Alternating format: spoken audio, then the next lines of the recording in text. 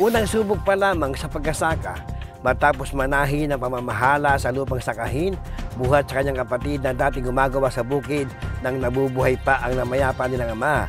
Masaya ngayon si Ginoong Dalmasio Gaya ng Barangay Poblasyon sa Bayan ng Aliaga dahil kapitolyo agad ang nakabili ng kanyang inani. Ayon kay Tatay Dalmasio, pamamasada ng tricycle ang dati nitong ikinabubuhay.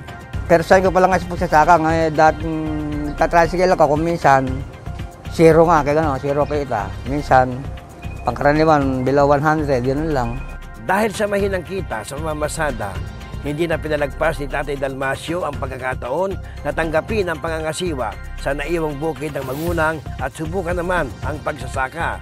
Malakas daw ang kanyang loob dahil batid na niyang mayroong Provincial Food Council na itinayo si Governor Aurelio Matias Umali.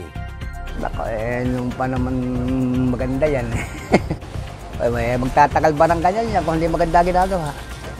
Umali si Tatay Dalmasio ng 106 kaban buhat sa kanyang humigit kumulang isang hektaryang bukid. Binili ng PFC ang kanyang aning palay na 436 variety sa halagang 14 pesos and 50 centavos kada kilo. Mas mataas ng 1.50 hanggang 2 piso sa umiiral ngayon mabilihan sa merkado.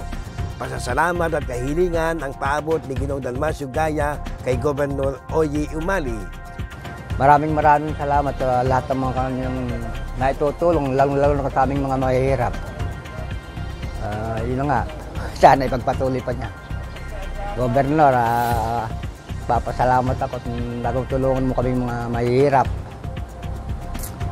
Sana wag ka, magbabago.